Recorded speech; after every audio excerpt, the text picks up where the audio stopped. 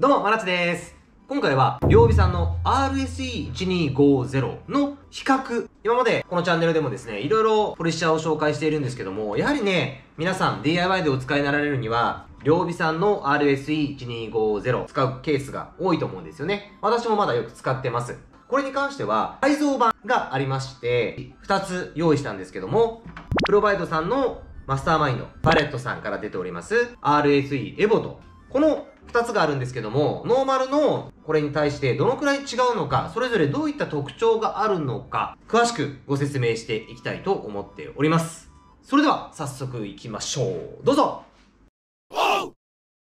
はい、3つ並べてあります。見た目の違いから言うとですね、コードの長さが、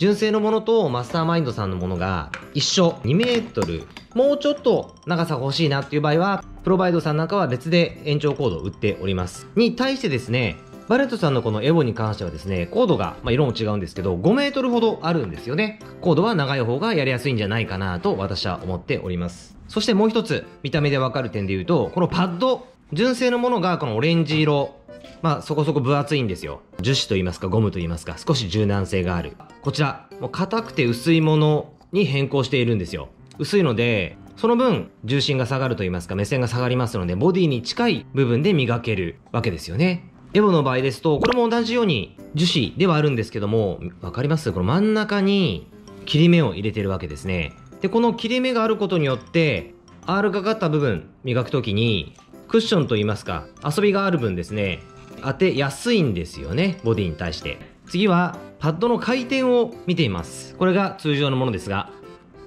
全く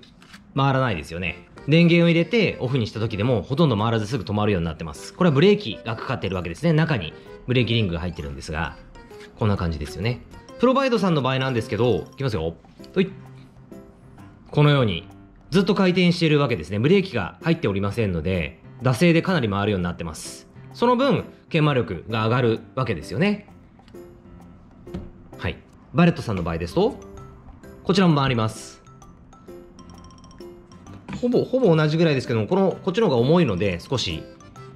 重く感じますね、回転に関しては。あとね、このバレットさんのは、これ、ゴムがここに貼っつけてあるんですけども、このように裏っかしに置いた時に倒れないようになってます。ここにリングをつけるやつもありますので、それはまた別の機会にご説明しますけど、はい、ここまでは見た目なんですけども、あとは実際磨いてみて、それぞれの特徴がどう違うのか、あるのかを見てみたいと思います。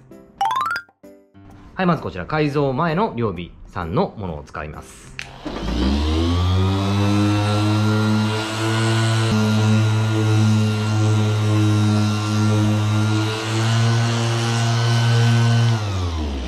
まあ、特にあだこうだというのはないんですけども、これを標準に元に考えて、他の2つがどのように違うかということですよね。はい、プロバイドさんのもので磨いてます。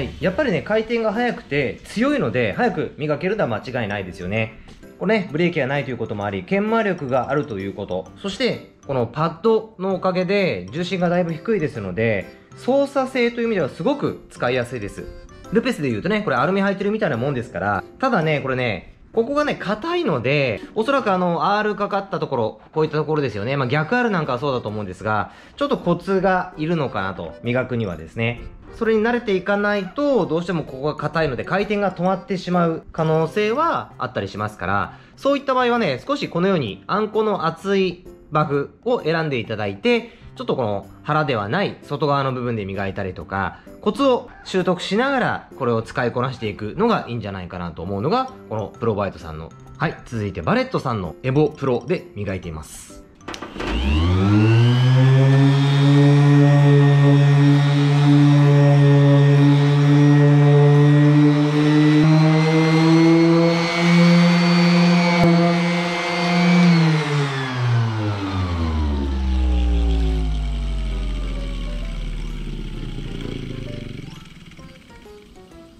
の RSE と比べて高さは一緒なんですけども、このね、先ほど説明した切れ目がある分ですね、まあ若干しなりが効きますので、R に関してはすごく磨きやすいのかなと思います。ただですね、あの、高回転になっていくと、この、やっぱり高さがある分ですね、プロバイドさんと比べて、少しこの、不安定になりやすいと言いますか、片手だと特にですね、